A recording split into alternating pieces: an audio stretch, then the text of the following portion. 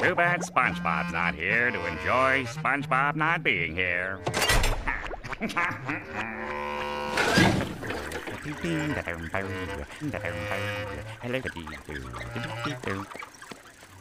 Morning! Some people have no taste in headgear. Huh? Babies, too? Excuse me, miss, but where is everybody getting that horrid headwear? Oh, who said that? Down here. Oh, well, I got it at the Chum Bucket. Plankton's giving them away free with every Krabby Patty. Chum bucket?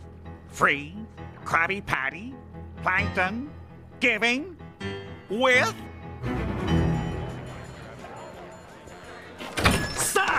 You're selling Krabby Patties, eh, Plankton? That's right, Squidward. And there's a free bucket helmet with every purchase. Care for one? No! You may have hoodwinked everyone else in this backwater town, but you can't fool me. I listen to public radio.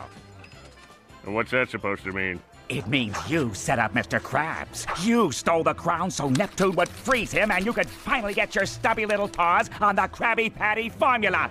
It was you all along. But you made one fatal mistake. You messed with my paycheck. And I'm gonna report you to the highest authority in the land, King Neptune. We'll see about that, Inspector Loose Lips.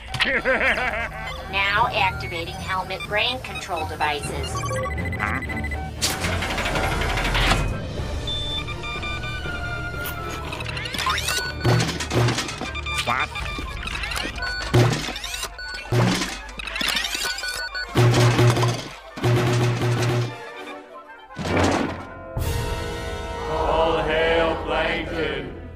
What's going on here?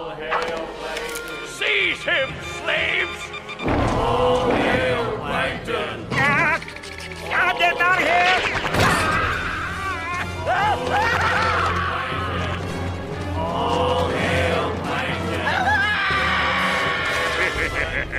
Who can stop me now?